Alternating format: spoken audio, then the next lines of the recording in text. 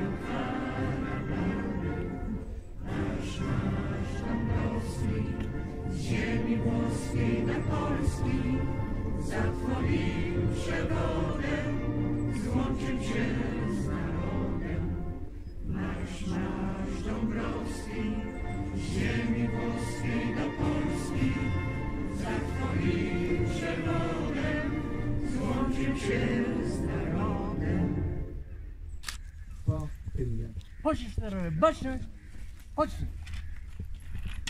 Kompania, baczność, kompania, baczność.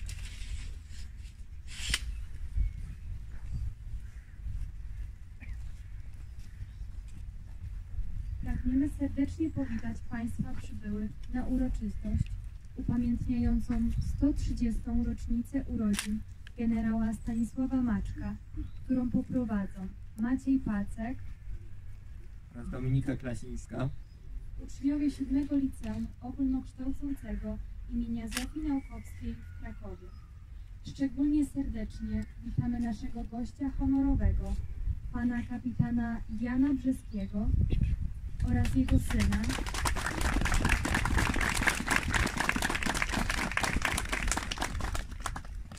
oraz jego syna, pana Piotra Brzeskiego.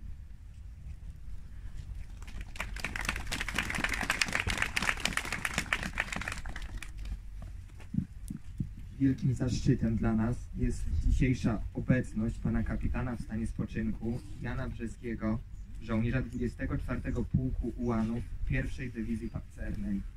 Pan kapitan w 1939 roku, jeszcze jako 16-letni harcerz, obserwował w Rytrze niemieckie samoloty i składał odpowiednie meldunki. Po wybuchu wojny otrzymał polecenie przedostania się do Lwowa. Ruszył w drogę, ale zanim dotarł do celu, Polskę zaatakował Związek Radziecki. Nasz dzisiejszy gość wrócił, śnie, wrócił zatem do Rytra, ale już zimą 1940 roku wraz ze starszym bratem Wincentym przez zasypane śniegiem góry przedostał się na Słowację i Węgry, a stamtąd do Francji, by na ochotnika wstąpić do polskiego wojska.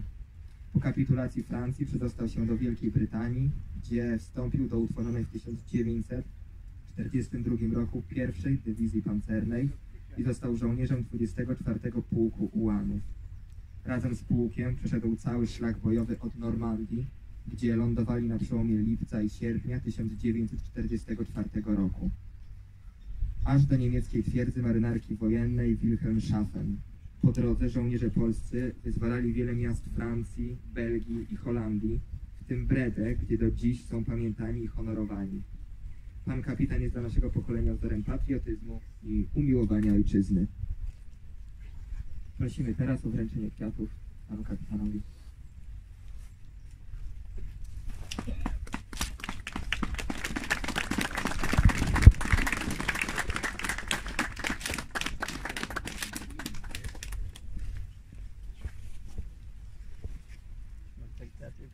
Tak, słyszałem.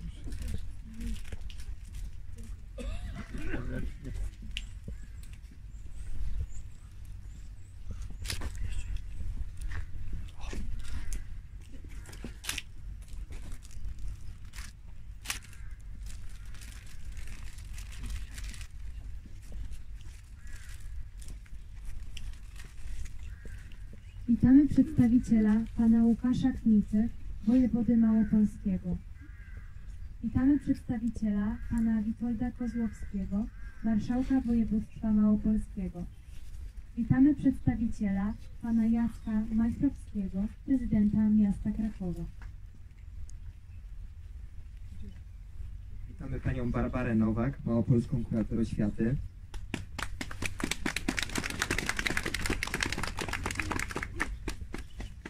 Witamy pana Jerzego Federowicza, senatora dziesiątej kadencji.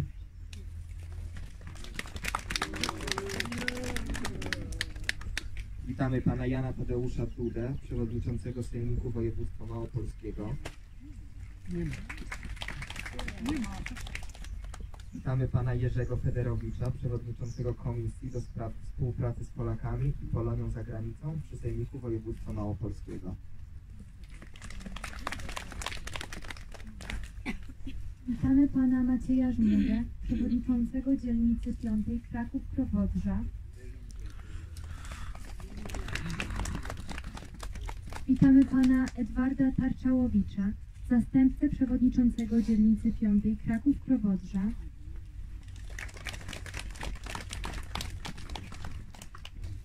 Witamy panią Joannę Wielgat, prezes Stowarzyszenia Rodzin pierwszej Polskiej Dywizji Pancernej. Witamy panią Cecylię Radoń, zastępcę dyrektora oddziału krakowskiego IPN.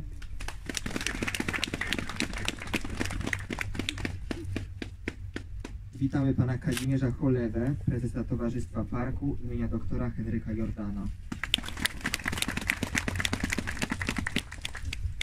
Witamy przedstawicieli Małopolskiej Oświaty Towarzystwa Przyjaciół Dzieci. Przedstawicieli Stowarzyszenia Rodzin pierwszej Dywizji Pancernej. Przedstawicieli mediów oraz wiernych uczestników uroczystości poświęconych generałowi Stanisławowi Maczkowi, i serdecznie witamy nauczycieli i młodzież obecnych na uroczystości.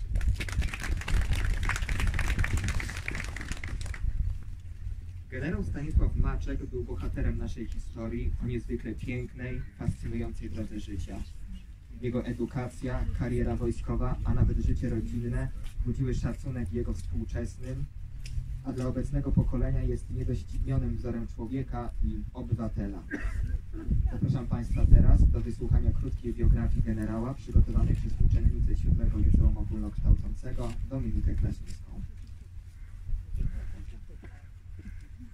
130 lat temu, 31 marca 1892 roku, w miejscowości Szczerec, niedaleko Lwowa, urodził się Stanisław Maczek.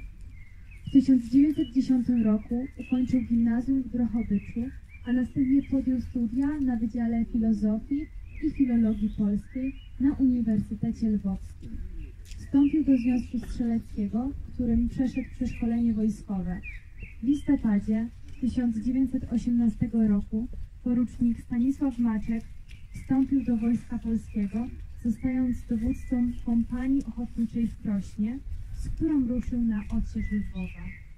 Wiosną 1919 roku stanął na czele lotnej kampanii szturmowej, która stoczyła zwycięski bój pod Żurawnem. Porucznik Maczek, który wyróżnił się w boju, otrzymał jako pierwszy w Wojsku Polskim awans na stopień kapitana wprost na polu bitwy. W sierpniu 1920 roku, w krytycznym momencie wojny polsko-bolszewickiej, został dowódcą batalionu szturmowego pierwszej dywizji jazdy. Uczestniczył w Bitwie Warszawskiej, po której wziął udział w pościgu za cofającymi się bolszewikami. W okresie międzywojennym kapitan Stanisław Maczek, angażując się w rozbudowę armii II Rzeczpospolitej, otrzymał kolejne awanse.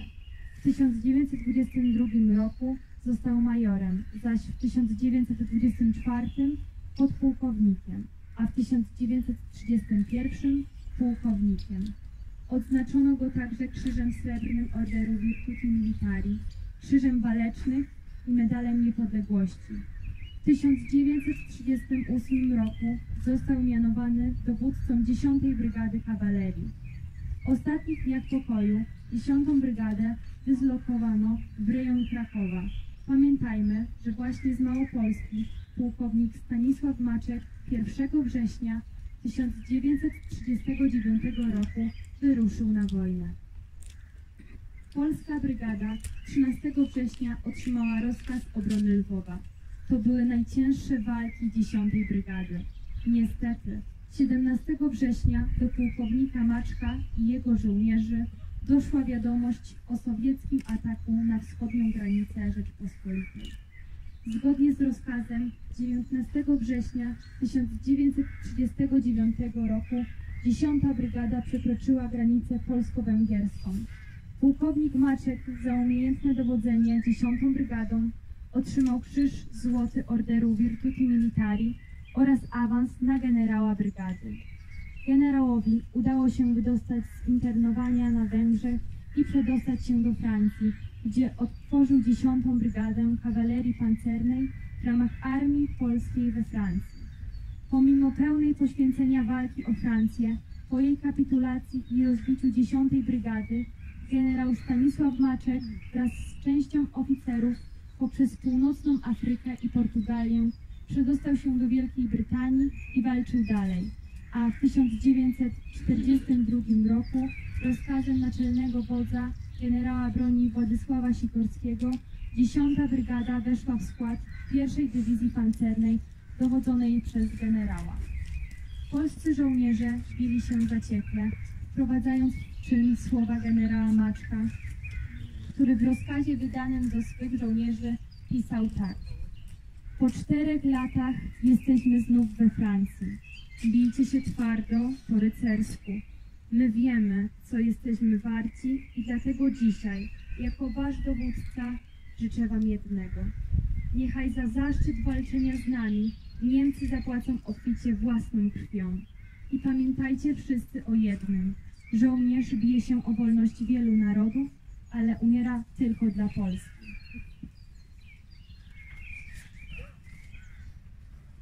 Dywizja pancerna wzięła udział w walkach pod Fales, wyzwalała miasta na terenie Belgii, walczyła o Gandawę. Następnie polska jednostka przekroczyła granicę belgijsko-holenderską. Doszła do ujścia Skaldy, wyzwalając wiele miast holenderskich. Wielkiej sławy żołnierzom polskim przysporzyło wyzwolenie w październiku 1944 roku miasta Wreda. Miasto zdobyto w stanie niemal nieuszkodzonym dzięki sprawnemu dowodzeniu generała Maczka. Mieszkańcy miasta urządzili fetę na cześć wyzwolicieli. Wszyscy żołnierze otrzymali honorowe obywatelstwo miasta, a wszędzie żołnierzy pierwszej dywizji witały plakaty z napisem w języku polskim Dziękujemy Wam Polacy. W lutym 1945 roku generał Maczek otrzymał krzyż komandorski francuskiej Legii Honorowej. Po zakończeniu wojny generał Maczek objął dowództwo pierwszego korpusu polskiego w Szkocji, zaś dywizja weszła w skład jednostek okupujących terytorium Niemiec. Generał pełnił funkcję dowódcy do września 1946 roku. Pozostał na emigracji, nie chcąc wracać do kraju pod sowiecką okupacją. 26 wrze- września 1946 roku komuniści pozbawili go wraz z grupą innych wyższych oficerów polskich sił zbrojnych na zachodzie obywatelstwa polskiego. Nie uchroniło go to od prób inwigilacji przez komunistyczną bezpiekę. Generałowi nie przysługiwała emerytura wojskowa i musiał podjąć pracę fizyczną. Pracował między innymi jako robotnik fizyczny i barman. Uczestniczył w pracach Stowarzyszenia Polskich Kombatantów, był również członkiem kapituły Orderu Wojennego Virtuti Militari. Zaangażował się w budowę pomnika katyńskiego w Londynie. W marcu 1987 roku otrzymał Krzyż Wielki Orderu Odrodzenia Polski, zaś w lutym 1994 roku otrzymał Order Orła Białego. Zmarł 11 grudnia 1994 roku w wieku 102 lat w Edynburgu. Zgodnie z jego ostatnią wolą pochowano go 23 grudnia na polskim wojskowym cmentarzu honorowym w Bredzie. Jesteśmy kolejnym pokoleniem, które z przekonaniem chce kultywować pamięć o generale i upowszechniać jego zasługi dla Rzeczpospolitej. Zapraszamy teraz do wysłuchania utworu Taki kraj w wykonaniu naszych uczennic Gabrieli Bartuli oraz Zuzanny Partyki.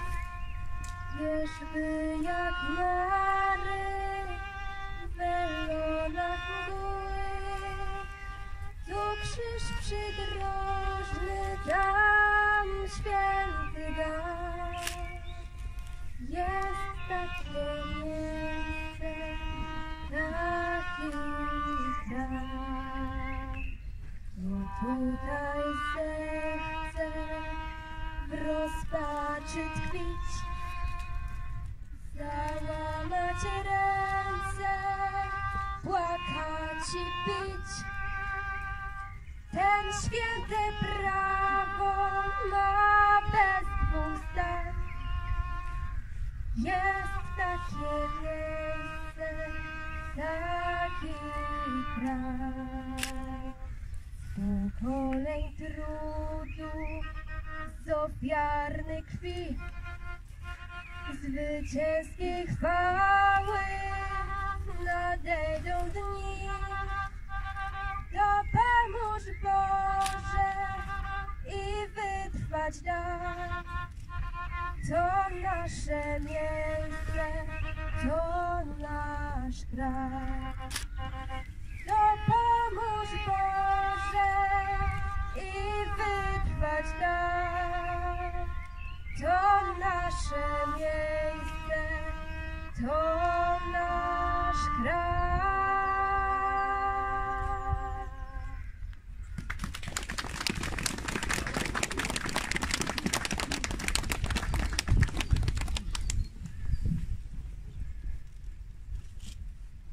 Prosimy teraz o zabranie głosu panią małopolską kurator oświaty, panią Barbarę Nowak.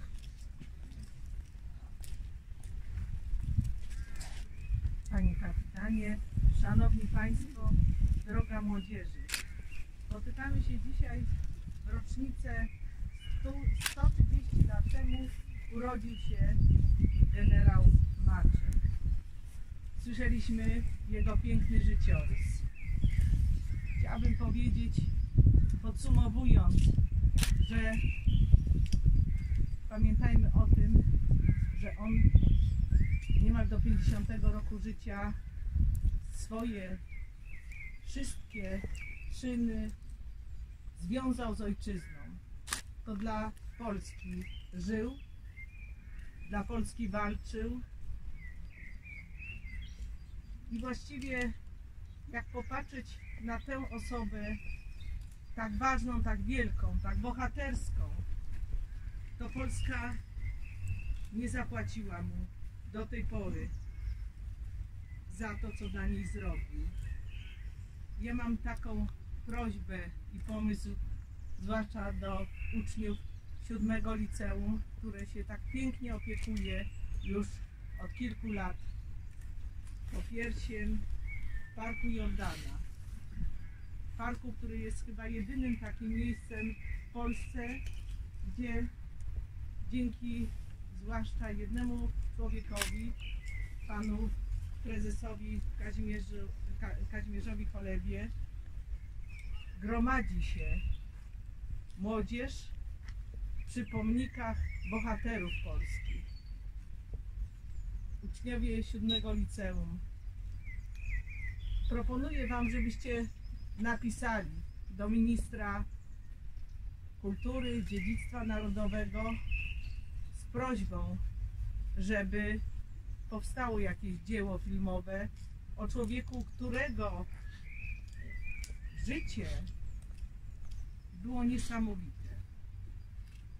Było oddane Polsce. Człowieku, który dla swoich żołnierzy był wzorem i opiekunem, zupełnie wyjątkowym. A myślę, że pan kapitan na pewno by potwierdził, że do samego końca życia generał był taką postacią, do którego żołnierze przychodzili, stawali na baczność i dziękowali za to, co dla nich zrobił. Był dla nich ojcem i opiekunem. Był człowiekiem niesamowicie wysoko moralnym. Był człowiekiem, który, którego wojna nie zniszczyła. My dzisiaj jesteśmy w sytuacji takiej, gdzie zaraz za granicą państwa polskiego toczy się wojna. Wojna straszliwa. Wojna, która niszczy, morduje, bo rosyjska władza, bo Putin wymyślił sobie, że chce od nowa doprowadzić do totalitarnego, ogromnego państwa radzieckiego. A generał Maczek był osobą, którego wojna, działania wojenne nigdy nie zniszczyły jako człowieka moralnie wielkiego. Ja chciałabym jeszcze dzisiaj przypomnieć nam wszystkim osobę, która nas tu gromadziła przy tym pomniku, panią Wandę Silezji. Wspaniałą osobę,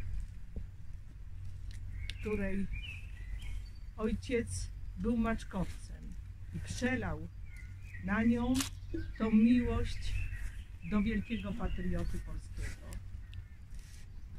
Moi drodzy, ogromnie się cieszę, że możemy się tu spotkać, że możemy przypomnieć sobie o panu generale, ale zróbmy wszystko, żeby coraz więcej osób o nim wiedziało, pamiętało i żeby brało z niego wzór. Zwłaszcza dziś, kiedy tak naprawdę nie wiemy, czy wojna, która jest na wschodzie, zatrzyma się na naszych wschodnich granicach. Patrzmy uważnie na pana generała. Starajmy się iść jego śladami i pamiętajmy, że wolność nie jest nam dana na zawsze. Że o tę wolność wszyscy musimy zabiegać. Że tę wolność musimy kochać i szanować. Bardzo, bardzo dziękuję za to dzisiejsze spotkanie. Ważne dla nas wszystkich, a szczególnie dziękuję panu kapitanowi, bo dzięki temu, że pan tu jest, to my jeszcze bliżej jesteśmy pana generała.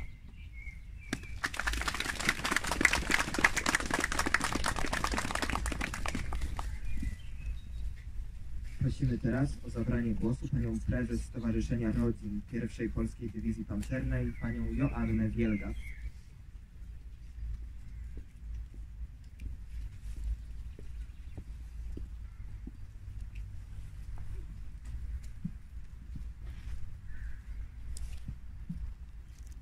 Panie kapitanie, szanowni państwo, droga młodzieży.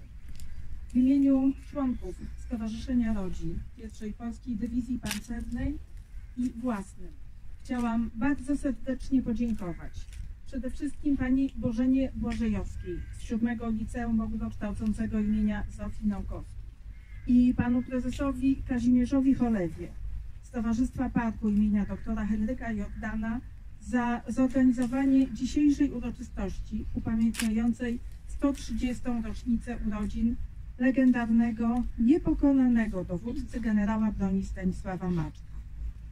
E, Szczególnie serdeczne podziękowania przekazuję od syna generała, profesora Andrzeja Maczka, z którym wczoraj rozmawiałam, e, mówiąc mu o dzisiejszej uroczystości oraz od wnuczki generała Karoliny Maczek z Kirlem.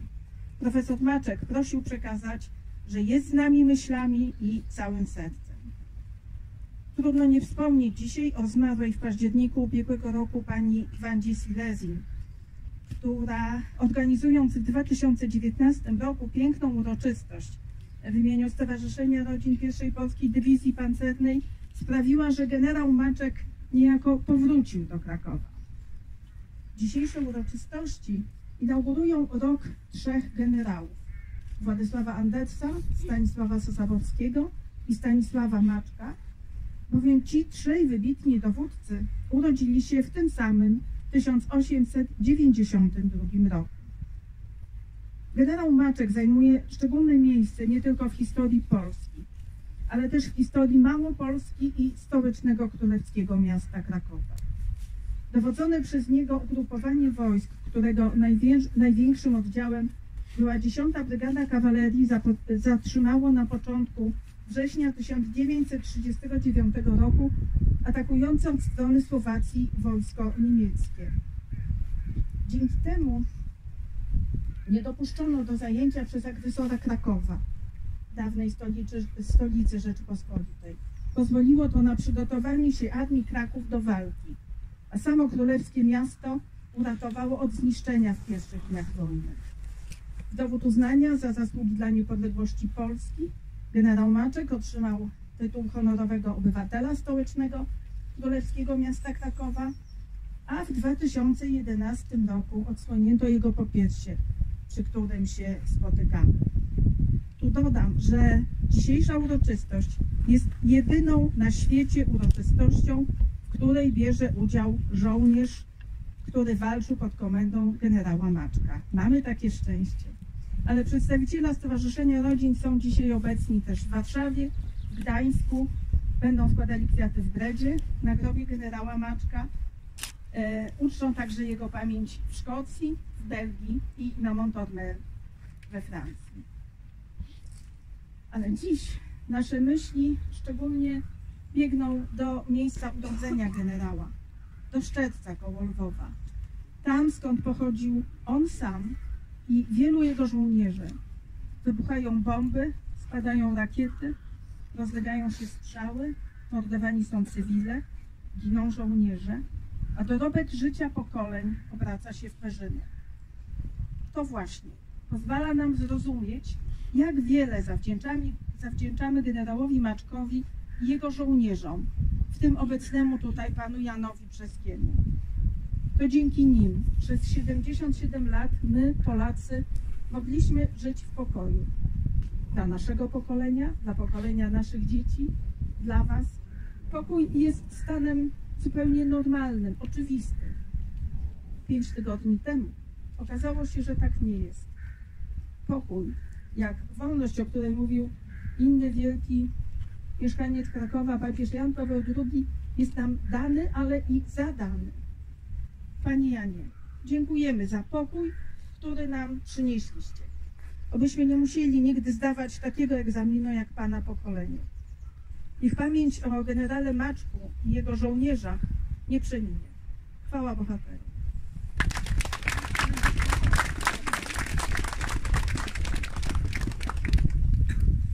Prosimy teraz o zabranie głosu pana dyrektora 7 Liceum Ogólnokształcącego imienia Zofii, Krau- e, Zofii Naukowskiej w Krakowie, pana Wojciecha Zagórnego.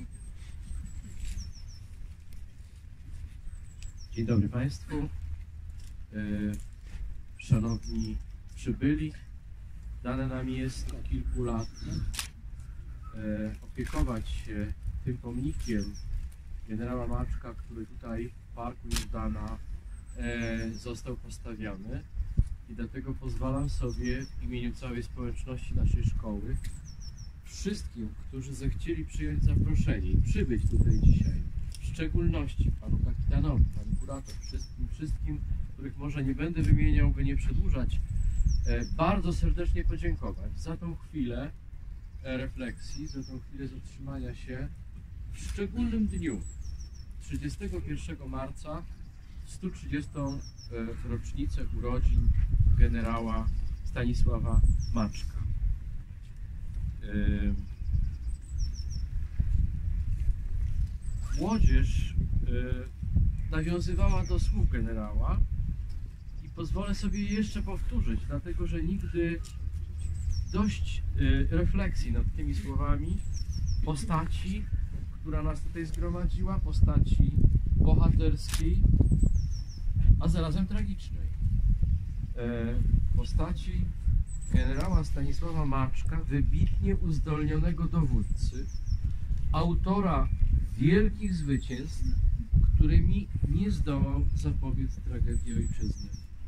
Emigranta, który nie akceptując politycznych realiów pojałtańskiej Polski, wybrał los wygnańca, ale człowieka honoru, męstwa, który bez skargi zniósł społeczną degradację i życie Edynburgu.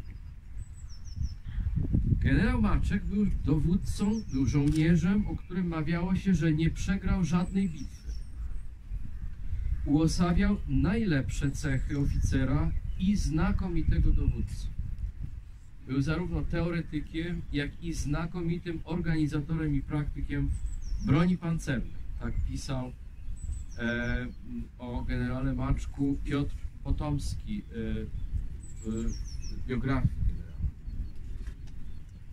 Generał Stanisław Maczek w świadomości Polaków i innych narodów od dawna zajmuje należne mu miejsce bohatera narodowego, wzorca polskiego patrioty, szlachetnego rycerza, zawsze gotowego do walki, zarówno o wolność naszą, jak i waszą.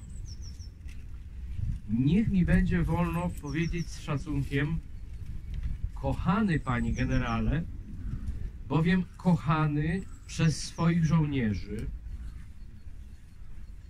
jako dowódca pierwszej dywizji pancernej polskich sił zbrojnych generał zy- zyskał przydomek Baca, bo choć bardzo stanowczy, był wobec żołnierzy niczym pasterz wobec owiec, także opiekuńczy. Wybitny, ludzki, zwycięski. Miasto Breda, przywołane tutaj dzisiaj, zostało oswobodzone bez strat w cywilach i zniszczeń zabytkowej zabudowy. Polscy żołnierze byli witani jak bohaterowie, podejmowano ich w domach, obdarowywano kwiatami, byli przyjmowani w Bredzie z wielkim entuzjazmem i nie tylko w Bredzie, a jak to e, nasza uczennica e, przekazała, w oknach wielu domów wyzwolonej Bredy pojawiały się plakaty z napisami po polsku Dziękujemy Wam Polacy. Jako, że generał Maczek zwracał się do żołnierzy, bijcie się twardo, ale po rycersku. Po wojnie zaś wspominał, myśmy oszczędzali miasta, nie robiliśmy szkód, myśmy się nie zachowywali jak Niemcy czy inni barbarzyńcy.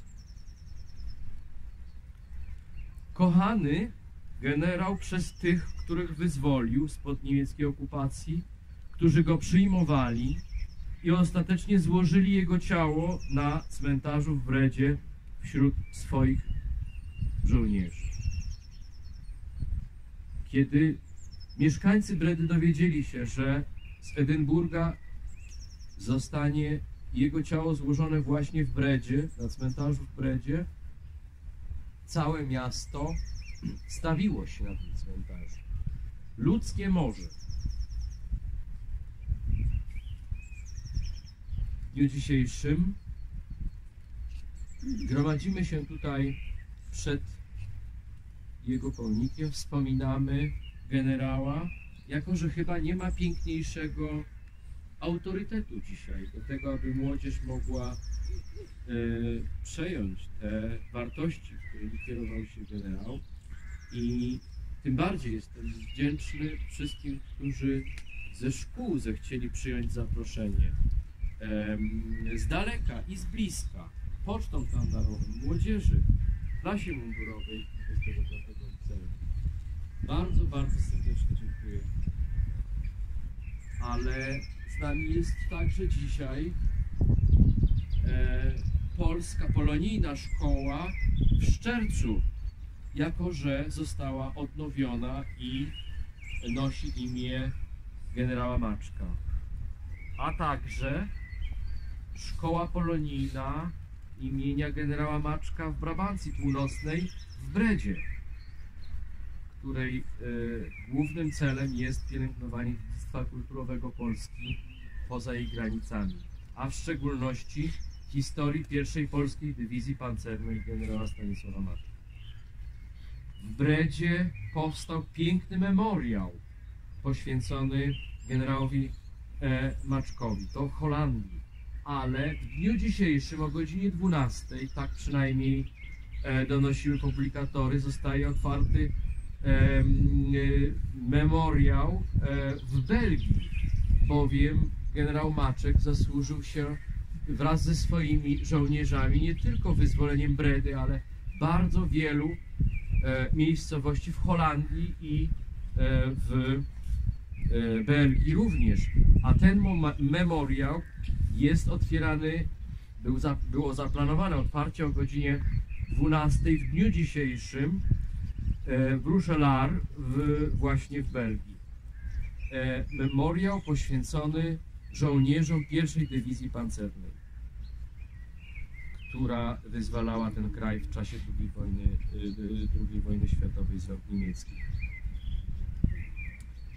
E, z dzisiaj także Polacy w Wielkiej Brytanii w ramach Dni Polskiego Dziedzictwa Polish Heritage Days mm, i oczywiście brytyjscy przyjaciele celebru- celebrują 130. rocznicę urodzin trzech wielkich polskich generałów. Generała Maczka, generała Andersa, generała Sosabowskiego, którzy wnieśli znaczący wkład w zwycięstwo aliantów podczas II wojny światowej. Na koniec pozwolę sobie przywołać jeszcze jeden cytat. E, e, jeszcze słowa generała, że żołnierz polski walczy o wolność wszystkich narodów, ale umiera tylko dla Polski. Cześć i chwała bohaterom. Cześć i chwała bohaterom!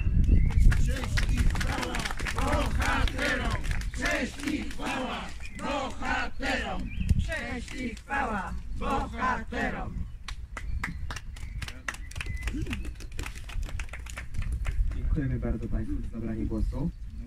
E, Teraz zapraszamy do wysłuchania kolejnego utworu w wykonaniu naszych uczennic, a będzie to pieśń wojskowa Rozkwitały pąki i białych róż.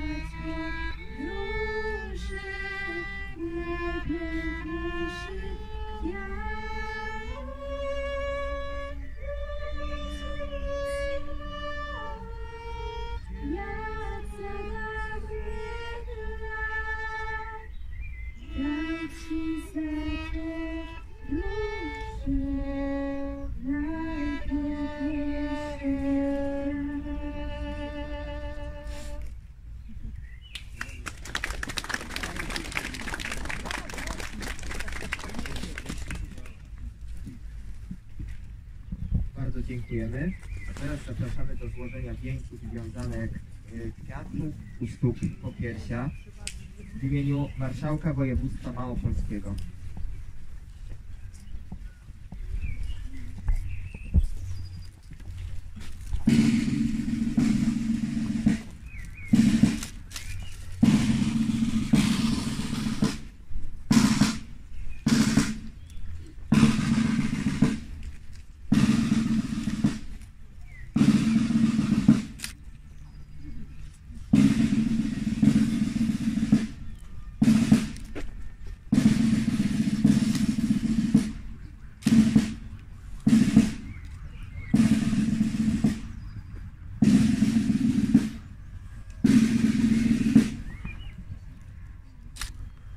Prosimy Panią Małopolską Kurator Oświaty o złożenie wieńca.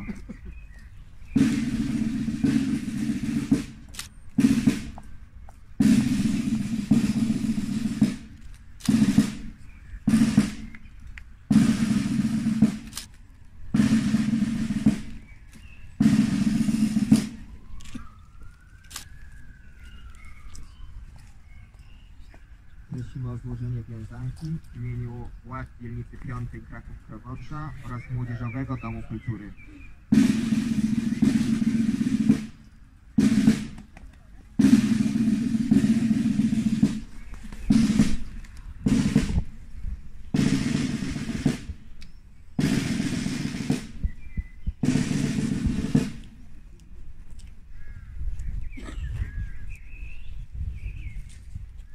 Prosimy o złożenie kwiatów Stowarzyszenia Rodzin pierwszej Polskiej Dywizji Pancernej.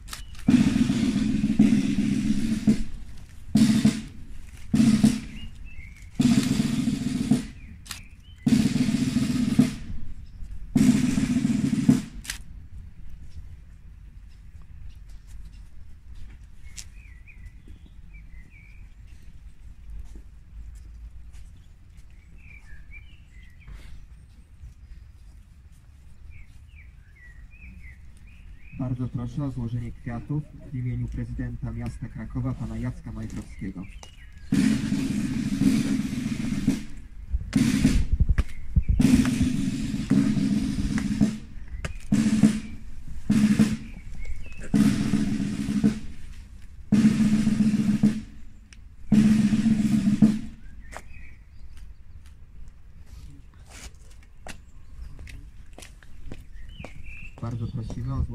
Kwiatów w imieniu oddziału Krakowskiego Instytutu Pamięci Narodowej.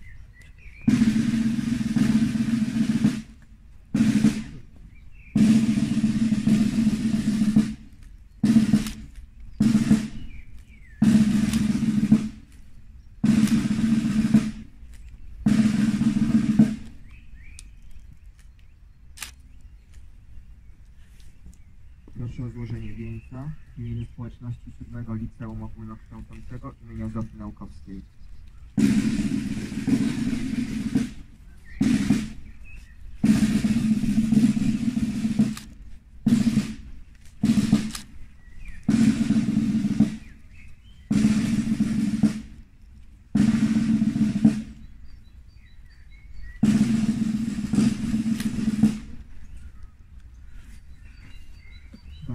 O złożenie kwiatów w imieniu Towarzystwa Parku imienia doktora Henryka Jordana w imieniu siostry Witalisy wraz z przedstawicielkami społeczności ukraińskiej.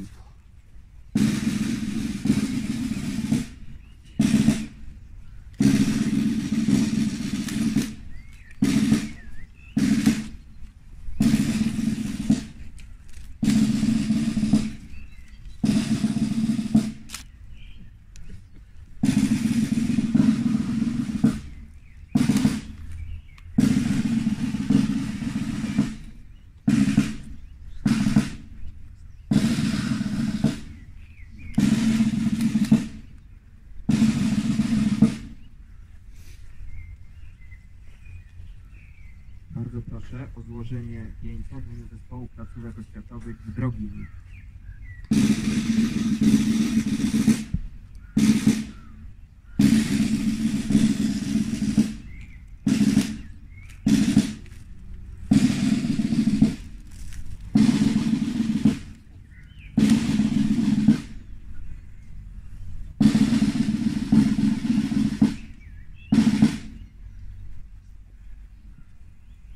Bardzo proszę o złożenie kwiatów w imieniu Tadeusza i Jacka Silesny.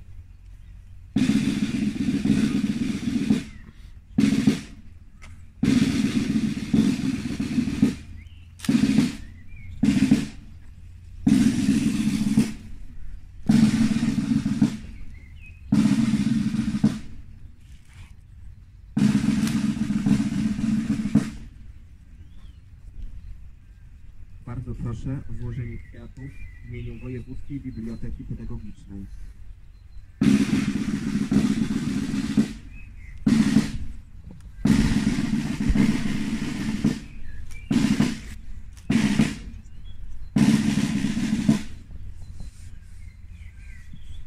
Bardzo proszę o złożenie kwiatów w imieniu Zespołu Szkół Specjalnych nr 3.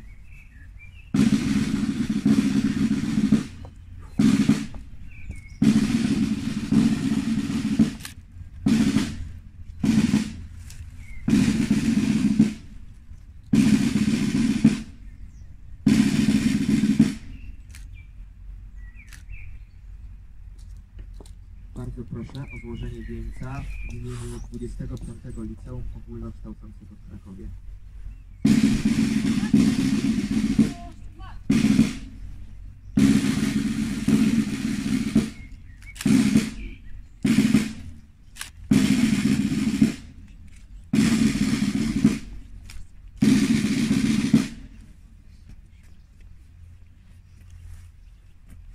Proszę o złożenie kwiatów w imieniu Towarzystwa, w imieniu Towarzystwa Światełko Pamięci.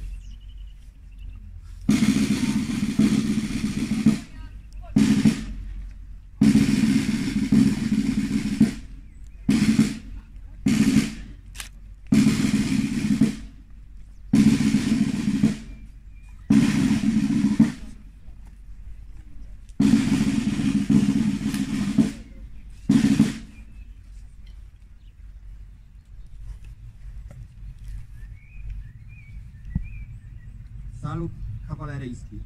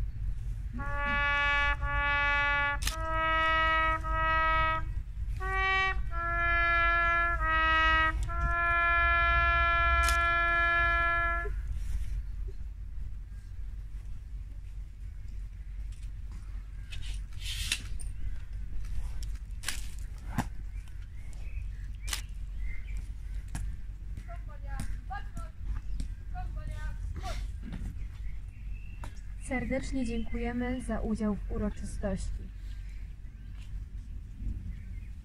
Poczty sztandarowe wyprowadzić.